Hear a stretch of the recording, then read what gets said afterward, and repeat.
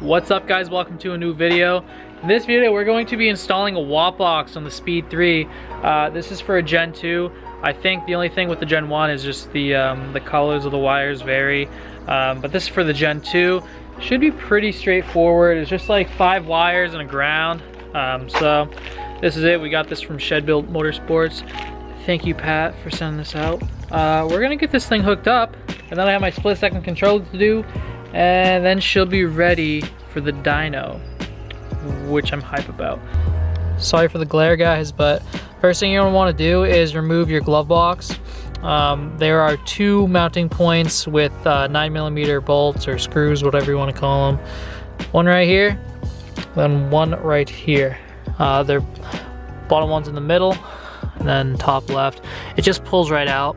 Um, and then you have this light bulb that's going to sit on the top. I just took off the screw. Uh, you can pinch these two tabs here and take it off. Uh, it was just easier with the screw for me. After that, you see the Gen 2s have this big ass gaping hole here.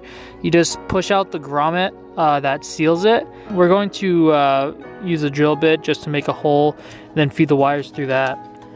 On the Gen 1s, I think there's already a grommet here with some wires going through there. So you just like poke a hole in there and feed the wires through that. This is what it looks like in the inside. Uh, just push these tabs in and just pop it out into the engine bay.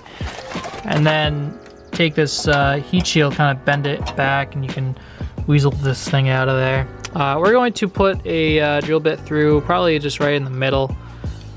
Should be good. We're gonna use this drill bit. It's either a 15 over 64 or it's a quarter inch uh, drill bit.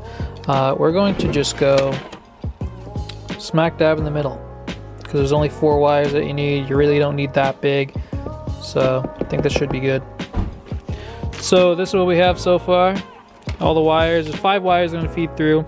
Uh, this actually seals pretty well already, uh, but we'll probably put some seal in here just to be safe. The black wire for the ground, you're gonna wanna leave, don't even bother feeding it through because we're going to ground the wire um, inside the cabin. First wire we're going to do is the green wire. This goes to your uh, clutch pedal position.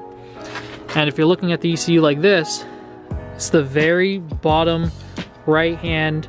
Uh, this one's actually white uh, wire. So we're going to snip it and then we're going to solder this one in and onto the next. Next wire we're going to solder is a blue wire on the uh, harness for the WOT box. That's going to go to this orange wire. It's going to be top row and this guy right here. So fifth over from the right side, top row, one, two, three, four, five. You got this orange wire. Next is going to be the yellow wire from the WOT box harness. Now on the left side of the ECU, um, it's going to be the third row from the top and then count over starting from the right side count over six and you'll get this little white wire. Be very careful with this. Just to make my life easier I'm actually going to extend this little white wire um, just because it's such a small area to be working with and you don't have much uh, much slack already. Um, so I'm just gonna extend it with this little bit of green wire uh, and then just so it's a uh, easier install Okay, so there we go. We have our little addition. Uh, we have a couple shrink wraps to go around it. And that was pretty stressful. Last but not least, for the uh, red and the orange, you're going to want to find this connector that goes to your uh, coil harness. And it's going to connect like this. On the very bottom row, second from the right, you see this little teal wire. You're going to want to cut that in half. Uh, leave yourself like an inch or so. I'm gonna cut it like right here. You're gonna splice this in half. The side that's still connected to the harness, you're going to solder the orange wire to that. And then on this side, you're going to want to solder the red wire to that. So basically you're just intercepting it. So this is what that kind of looks like. The side that's still connected to the uh, connector here, orange wire, other side, red wire. Just got back, Went to uh, my local Ace Hardware. Get seven feet. I had they only had half inch. Um, even smaller would be fine. Uh, of just flex tubing, and seven feet is actually perfect. I got 14 just because I don't know how much I'd need. It's good to have for the future reference because I don't have any at the house. But seven feet was perfect. We went all the way back to the firewall here, as you can see, right up to that uh, little grommet area. And we had enough to go all the way around here. Uh, we had some left over. We stopped here at the ECU harness and we had a little bit extra to go um, kind of splice in here to go to this coil harness uh, plug right here. All we have to do now guys is just do the ground wire and then program it. Uh, and yeah, this is really, so far, it's just soldering wires. Make sure you find the right wire. That's pretty much it. I pulled a little extra slack for the red and the orange wire um, just because it does split up there in the engine bay.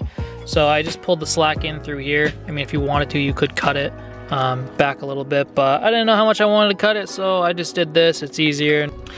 Okay, so we have our ground wire right here. And I fed the, uh, the uh, harness through this, uh, there's already a hole up here. There's actually two of them. Just throw through that, and we'll leave the WOT box here in the glove compartment. And I'm pretty sure that's all. Now, we just have to uh, program it. In regards to programming the WOT box, uh, I recommend just watch the uh, Tune by Nishon's video because that's what I'm going to be following anyway. So might as well just hop it over his channel. He explains in heavy detail of what it does, how to set all the parameters up and program it correctly.